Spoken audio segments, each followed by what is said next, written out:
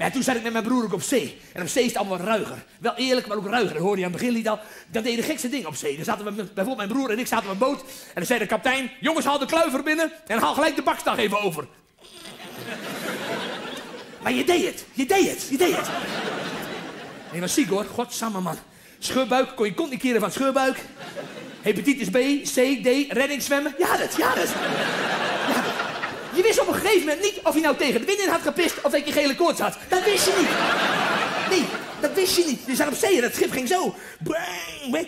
Of dan moest je poepen. Dan moest je poepen. En dan ging je naar kapitein. Zei, kapitein, moet poepen. Waar is het toilet? Toilet? Overboord met je reet, kleine homo.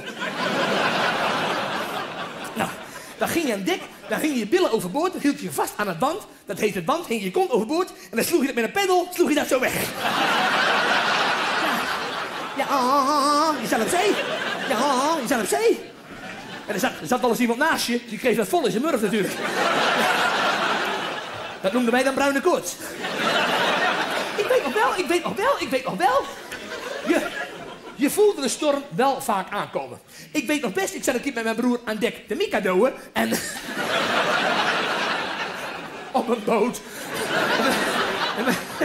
En mijn, mijn, broer zei, hij bewoog. Ik zei, maar het hele schip beweegt. Dus kom maar blijft die cocktailprikkers terug af in de lul. Hè?